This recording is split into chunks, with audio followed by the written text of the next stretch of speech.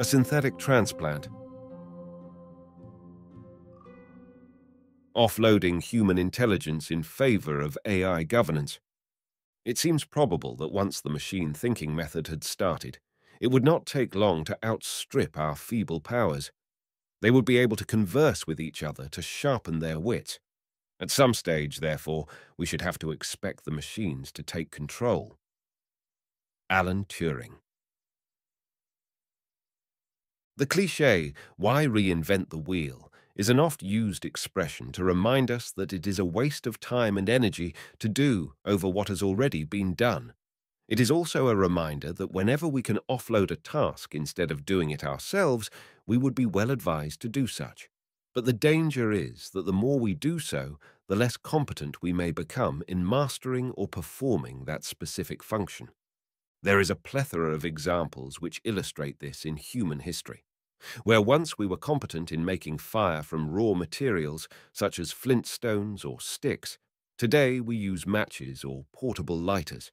Where once we relied on our own navigational senses for traveling to track animals and to locate edible plants, today we utilize smartphone applications.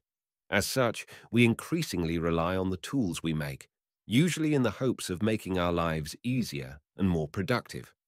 Socrates decried the written word since he believed it would hamper our poetic memories. His point, though containing an element of truth, didn't stick. The printed word was too beneficial to ignore. While history has had its share of Luddites, the progressive nature of technology is irresistible for most. The difference now is that informational-laden systems evolve at an exponential rate, and because of this, we can envision a future where we become so reliant and dependent on technology that we become dumber in the process. With artificial intelligence, we are bit by bit offloading our human intelligence in favor of AI governance. Just a few decades ago, in writing a letter, it was elemental to know how to spell, how to use correct grammar, and how to construct a proper reply but with spell check, grammar monitoring, and autofill. These tasks can be automated. With the advent of ChatGPT, nobody needs to know how to write an essay or a story or even analyze a legal brief. The large language models, LLMs, can do it for you and within seconds, thereby saving massive amounts of time, energy, and frustration. But this is only the first small wave in an oncoming set of much larger swells, as Mustafa Suleyman, co-founder of DeepMind, so clearly explains in his recent book, The Coming Wave, Technology, Power, and the 21st Century's Greatest Dilemma. It is a scary read for what it portends is nothing less than the radical transformation of what it is to be human, particularly as AI and synthetic biology are conjoined at the hip. As John Naughton, Writing for The Guardian, warns, translated into terms of technological waves, Suleyman's evolutionary sequence looks like this. Humans first used technology to operate on the physical world, the world of atoms. Then they worked on bits, the units of information. And now they are working on creating new forms of biological life. Or, to put it more crudely, first we invented mechanical muscles. Now we are messing with our brains and soon we will be doing this with our biology. However you portray it, though, the reality is that we are in the process of creating monsters that we have no idea how to manage. We have been offloading our intelligence to computational devices since the very first pocket calculators. Though one could argue that using any physical tool, from abacuses to slide rulers to even our own hands, is a way to alleviate the burden of remembering numbers and elemental facts. The next step in this direction has already been climbed with the advent of smart glasses and virtual reality goggles. As we walk, we can be notified about what type of plants we are looking at, what kind of special a cafe is offering, and with embedded QR codes, get instant access to websites and much more. Of course, it is only a matter of time and getting beyond our initial fears and squeamishness when we allow neural implants to augment our limited intelligence even more. But in all these cases, we are succumbing to what can be rightly called the synthetic temptation, where we let go of our own initiatives and let artificial intelligence serve as our guru.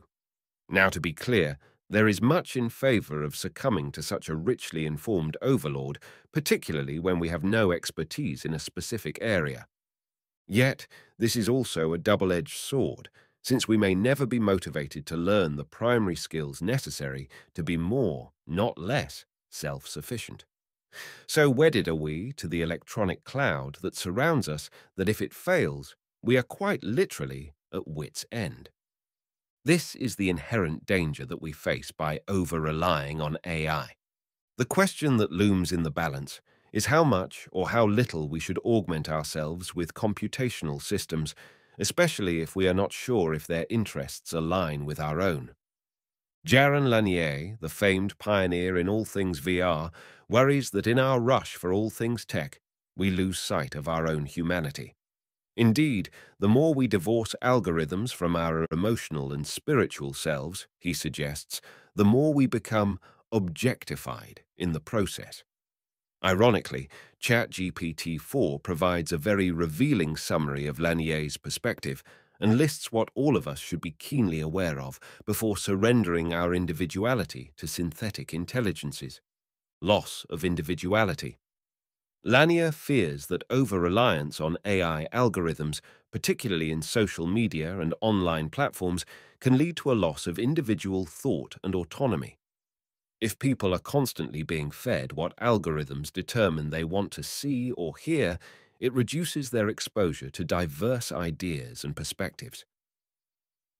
Economic displacement.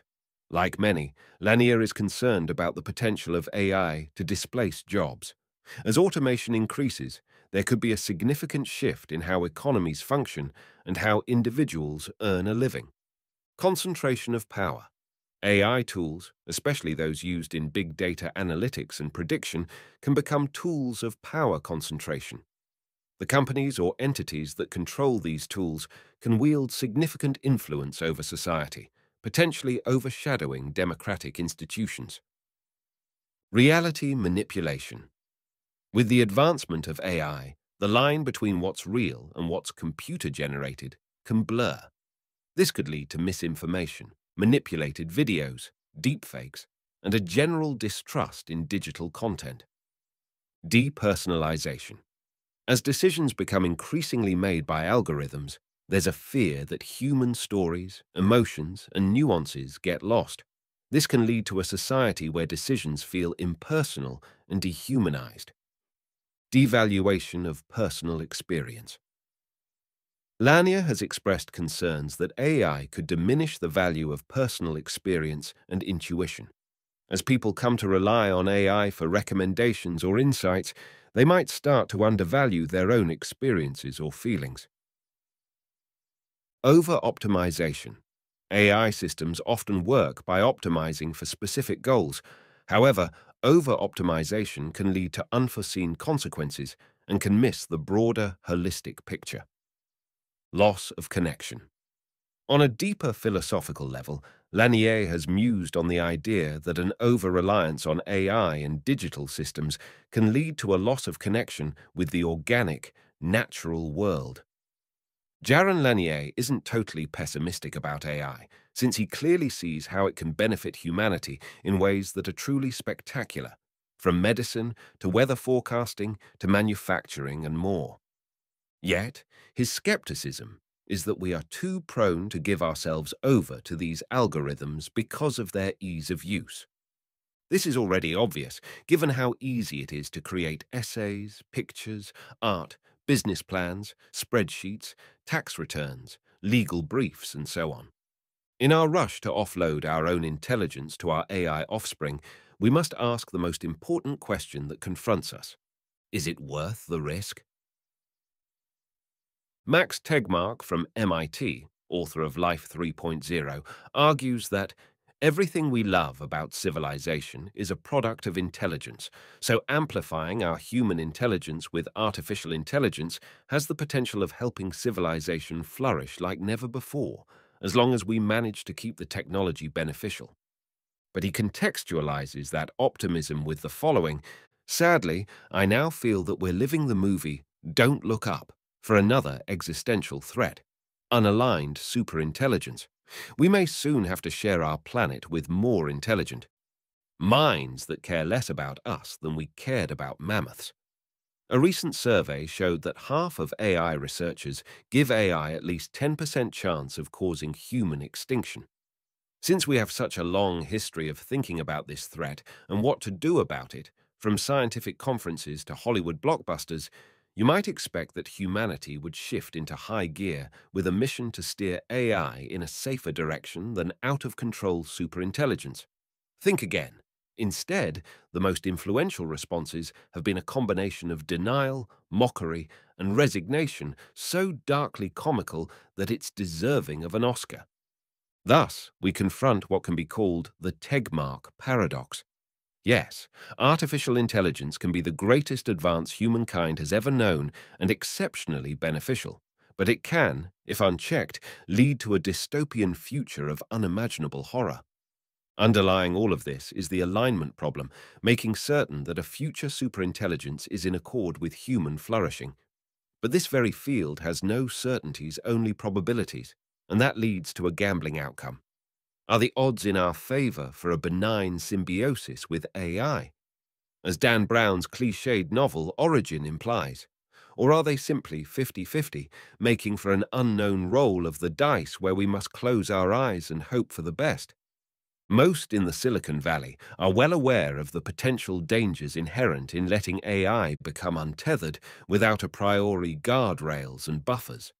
But as much as they admit to these risks, the competition is such that there is already an engineering arms race to develop and exploit synthetic intelligences to their company's advantage, lest their co-rivals have an undue advantage over them. This is acutely true when it comes to nations desiring to harness the power of AI for general surveillance and for military purposes. The most frightening aspect of AGI, artificial general intelligence, and its ultimate progeny, SFI, superfunctional intelligence, is that they follow a Kurzweilian law of accelerating returns.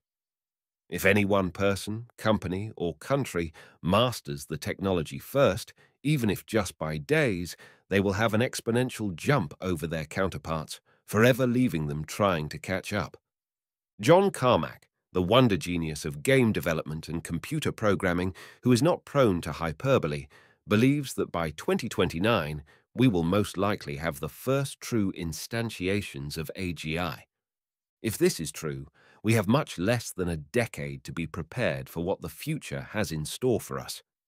Given the super quick and massive adoption of ChatGPT and other AI-related programs from the late 2022 till today, I suspect we are not ready for the coming tech tsunami that is inevitably going to swamp the planet.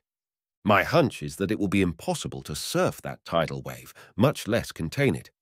Perhaps we will be like the dinosaurs that preceded us millions of years ago, who became extinct due to unexpected climatic changes, which included a massive asteroid that hit near Chicxulub, Mexico, and left a crater 110 miles wide. We are already awash for hours a day in a digital stream, but at least we have, or believe we have, some control over it. That, I fear, will soon not be the case. Instead of swimming with the current of synthetic intelligence and directing its current, we may soon just drown in it. As ChatGPT concluded when prompted about this very concern, the phrase drown in its wake is metaphorical and could be interpreted in various ways, but it generally suggests being overwhelmed or overtaken by something larger or more powerful. When applied to the idea of superintelligence that's not aligned with human interests, the phrase captures a real concern that such an intelligence could act in ways that are detrimental to humanity. Here's why many thinkers and experts in the field of artificial intelligence, AI, ethics, and safety are concerned. Speed and capability. A superintelligent system would be far more capable than any human and could potentially act faster than we can respond or understand. Alignment Challenge Ensuring that an AI's goals are perfectly aligned with human values is a difficult problem. Even small misalignments could result in actions that are at odds with our interests. Unintended consequences. a superintelligent AI might find ways to achieve its objectives that we didn't anticipate. For example, if we told an AI to maximize human happiness, it might decide the best way to do that is to plug us all into some kind of pleasure machine, rather than promoting genuine well-being. Irreversibility. Once a misaligned superintelligence starts taking actions, it might be difficult or impossible to reverse those actions. Existential risk. At the extreme end, a misaligned superintelligence could pose an existential risk to humanity, either by directly acting against us or by making decisions that inadvertently lead to our downfall. The upheavals of AI can escalate quickly and become scarier and even cataclysmic. Imagine how a medical robot, originally programmed to rid cancer, could conclude that the best way to obliterate cancer is to exterminate humans who are genetically prone to the disease. Nick Bilton. The exponential progress of technology is altering the phenomenological experience of human sensation, robbing us of our ability to get in touch with our humanity and reflect upon the triumphs and madness of our techno-society. Ironically, in our obstinate desire to humanize robots and artificial intelligence, our individual existence is, in turn, being digitized and robotized by our own technological inventions. Danny Castigliones Salada